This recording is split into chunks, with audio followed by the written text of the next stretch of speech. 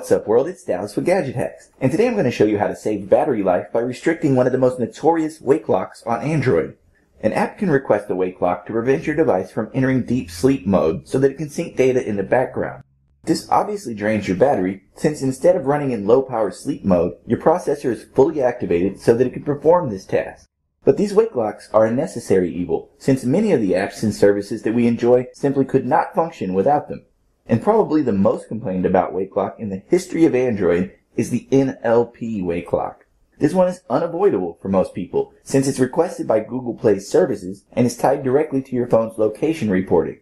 Essentially, every 60 seconds, Google Play services sets off a CPU wake up alarm that then places this NLP wake lock into effect so that your device can update its location data.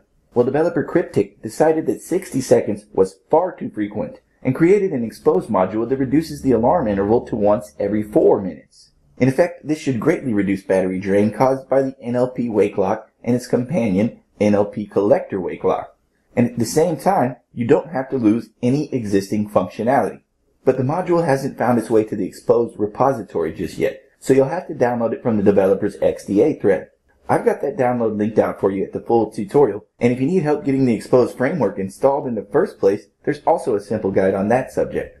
So head over to the link in the description below this video and you'll find everything you need to cut back on this long-standing battery drain. But with the module downloaded, just tap the download complete notification to begin. From here, tap install.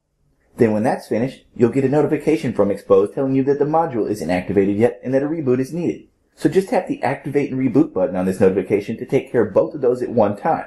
And when you get back up, no further setup is needed. The module will work its magic and you should see a nice little bump in battery life.